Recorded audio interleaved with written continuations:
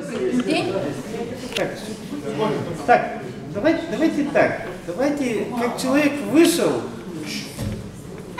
тихо. Ну, у меня получилось вот так. Я познавала край Амурский, с таежных северных глубин, где Сактахан и Токурингу пронзала бурная река.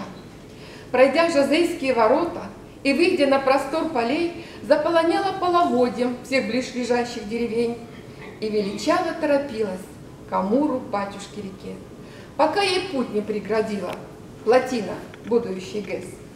Мне в жизни повезло увидеть, как ток дал первый агрегат, как запустили третий, пятый и завершающий шестой.